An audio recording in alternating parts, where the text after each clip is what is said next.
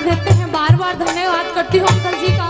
आइए, पहली बात में हकीकत के माता पिता कहने लगते हैं कि हमारा तो इकलौता ही लाल था, जिन्हें इन काजियों ने छीन लिया।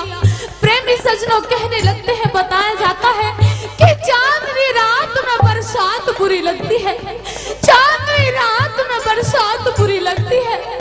जब घर में हो लाश तो बारात बुरी लगती है। और झूठे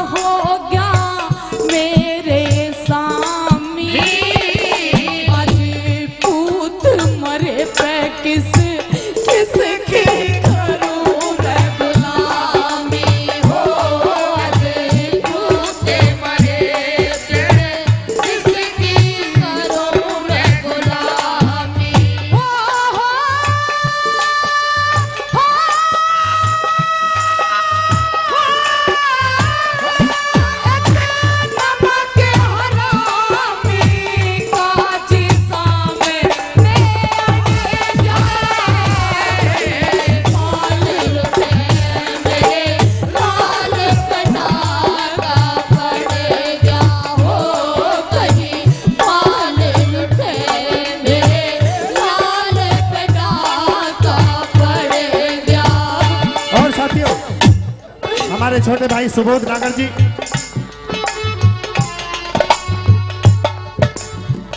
भाइयों, जहाँ तक मुझे निकलना थोड़ी जल्दी है, जहाँ तक सवाल क्षेत्र का है, ज़िले का है, या मेरे बुज़ुर्गों के मान सम्मान का हो, या अपने भाई नौजवानों के सम्मान का हो, जहाँ तक हर बात के लिए मैं उनके साथ रहता हूँ, ये तो एक आज दिन था मनोरंजन का।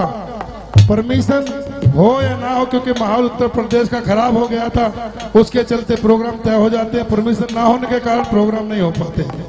लेकिन ये आपका बच्चा, आपका भाई इस लायक है कि आपकी परमिशन हो या ना हो, दस दिन प्रोग्राम चलाओ, बीस दिन प्रोग्राम चलाओ, आपके प्रोग्राम में कोई दिक्कत नहीं आएगी। जय हिंद। और साथियों, मेरे छोटे भाई सुबोध नागर जी पान पाँच सौ रुपए देकर के, यानी कि एक हज़ार रुपए देकर के इस टीम को हौसला अफजाई कर रहे हैं इस हकीकत राय के गाने पर। और हकीकत राय के माता पिता ने विलाप करते हुए दूसरी बात में क्या बता दिया? बाकी सभी हवाला।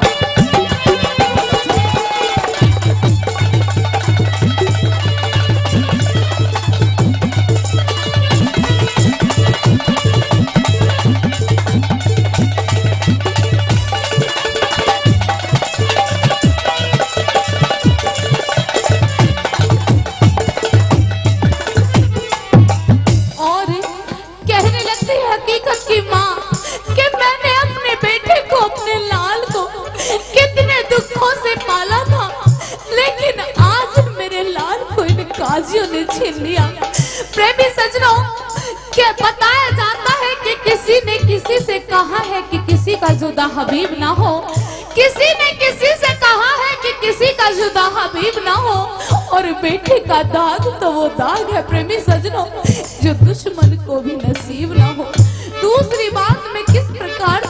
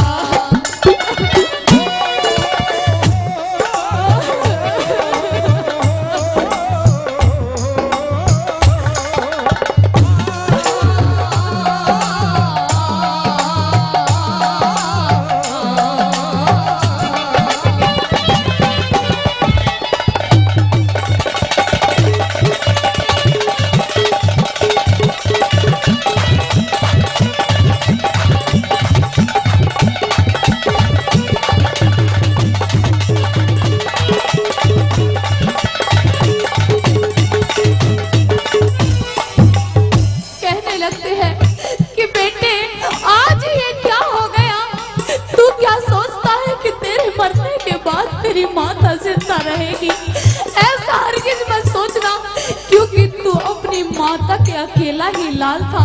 प्रेमी सजनों, जिस माँ का अकेला लाल मर जाए, उस माँ के दिल से पूछिए कि उसके काल से पे कैसी चोट लगती है। प्रेमी सजनों, इस बात को देख करके हकीकत की माँ की आँखों में आँसू आ जाते हैं। किस प्रकार से क्या कह लगती है, सुनते हैं तीसरी बात में क्या बताया सुनेगा?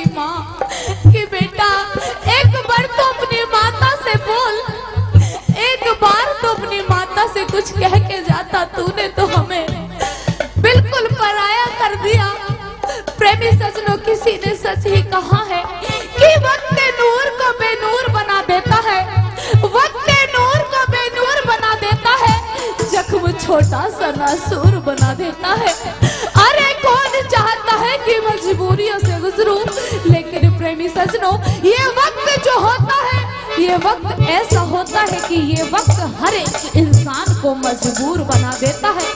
आइए हकीकत की माँ किस प्रकार से रोने लगती है और क्या कहने लगती है अपने बेटे की लाह